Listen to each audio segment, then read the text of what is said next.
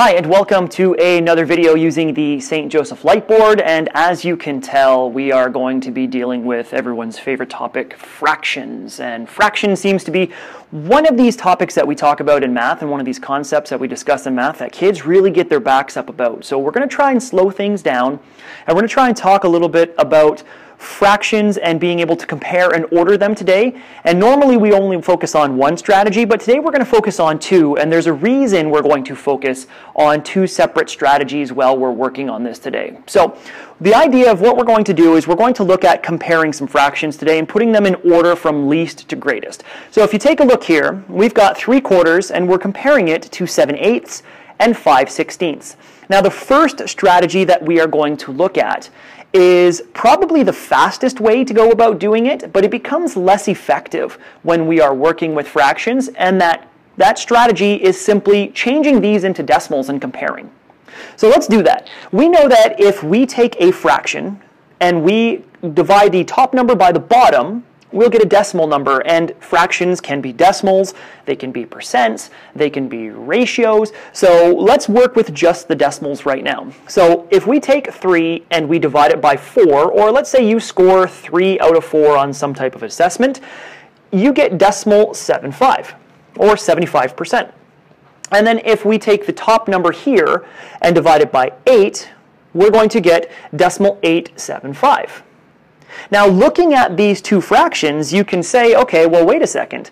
If we take 3 and divide it by 4, we get 75%. We take 7 and divide it by 8, we get decimal 875 or 87.5%. You can make the comparison really quickly and say, oh, well, we know 7 eighths is larger than 3 quarters. And let's continue doing this strategy and seeing what 5 sixteenths is going to equal. So if we have 5 sixteenths and we divide 5 by 16, we get decimal 3, 1, 0.25, decimal 3125, or 31.25%. So now, if we wanted to order these fractions, we can do so from least to greatest. We know that least, our smallest fraction, is 5 sixteenths. Our next smallest fraction would be 3 quarters, and then our largest fraction, of course, would be 7 eighths. Now, this is one strategy, and it works really, really effectively if we are trying to work for speed.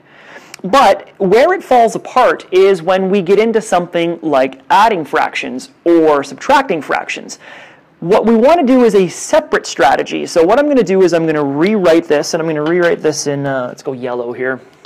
We're going to do this as uh, 3 quarters, 7 eighths, and then 5 sixteenths. Now, strategy number two is quite a bit different. And we are going to try to get common denominators, or the same size pieces. And sometimes it's easier to do than others, and sometimes you got to really work at it. And in this case, if we take a look at these bottom numbers, these denominators all have something in common. If I take 4 and multiply it by 4, I get sixteenths. So I can actually change the quarters and cut them into smaller pieces and get sixteenths. And what I do to the bottom, I have to do to the top. So I'm going to change this fraction into what we call an equivalent fraction. So 3 times 4 is 12, and then we're looking at 4 times 4, which is 16. And now I can compare 12 sixteenths very easily to 5 sixteenths over here. I see that I have more pieces out of 16 than I did over here, so this one must be larger. And if we do the same thing over here, what we have is we have 7 eighths.